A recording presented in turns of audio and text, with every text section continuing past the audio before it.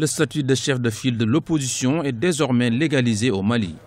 Une loi a été adoptée par le Parlement et promulguée par le chef de l'État Ibrahim Boubacar Keïta.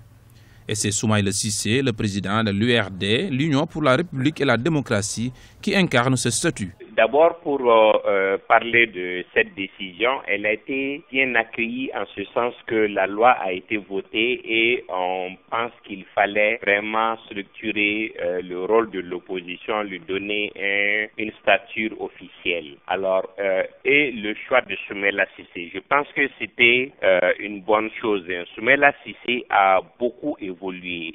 C'est vrai qu'il est sur l'échiquier politique national depuis longtemps. On lui a reproché des choses, mais il, a beaucoup mûri et il a sauvé surtout le processus malien. Sa formation politique dispose au sein de l'hémicycle 17 députés sur les 147 que compte l'Assemblée, ce qui lui confère, selon la loi votée et promulguée, le statut de chef de file de l'opposition, qui revient au parti de l'opposition qui a le plus grand nombre de députés à l'Assemblée nationale.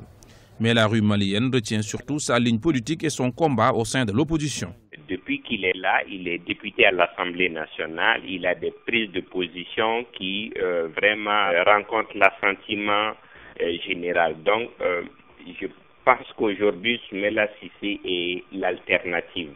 Hein, et je pense qu'il l'a compris et qu'il se pose lui-même comme tel. L'homme n'est plus à présenter dans la vie politique malienne. Ancien candidat à la présidentielle de 2013 où il est arrivé au second tour face à l'actuel président de la République, il fut également ancien ministre, ancien patron de l'UEMOA, l'Union économique et monétaire de l'Afrique de l'Ouest.